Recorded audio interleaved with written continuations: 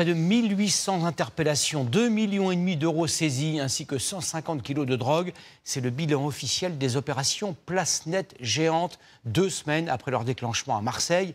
Lyon, Dijon, Lille ont suivi ainsi que Roubaix où des points de deal ont été démantelés la semaine dernière. La méthode est-elle efficace?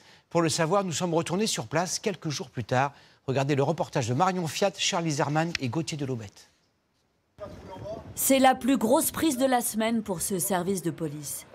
Derrière les murs de ces maisons désaffectées, une plantation géante de cannabis, près de 500 pieds y étaient cultivés. Oh, c'est cool, je suis content. Valeur de la saisie, 1 million d'euros.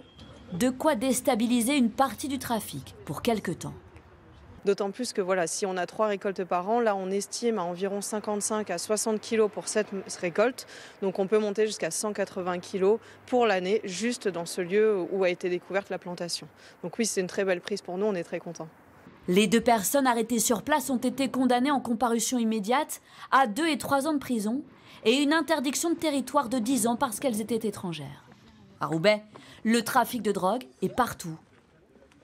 Sur les six points de deal que nous avions repérés avant l'opération Place Net, deux n'existent plus.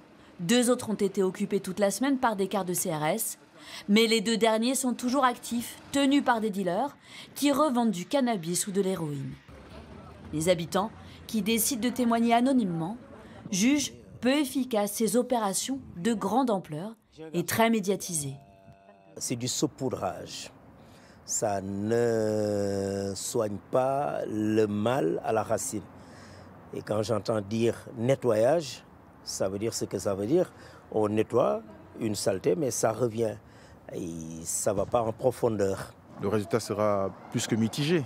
Donc, euh, ça a été comme ça avant. On parlait d'opération coup de poing, mais euh, on a vu, hein, ça fait 30 ans que ça dure, on a vu avec le temps que ben, les choses ne changent pas et ça s'empire même. Le trafic s'est répandu dans toute la ville. Les dealers connaissent les quartiers, les habitants, les entreprises.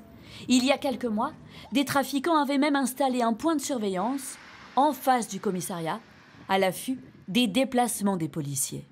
On voit que maintenant, ils ont une faculté, en tout cas, à contrer euh, nos opérations. Et ils ont même utilisé des drones hein, à une époque pour nous surveiller. Donc, c'est vrai que euh, Roubaix, c'est très particulier pour ça, c'est que euh, c'est bien ancré dans le trafic de stupéfiants, mais depuis des années, on ne peut pas effectivement euh, changer de rue sans pratiquement croiser un point de deal. L'opération Place Net a mobilisé près de 5000 policiers et gendarmes la semaine dernière et se poursuit jusqu'au 15 avril.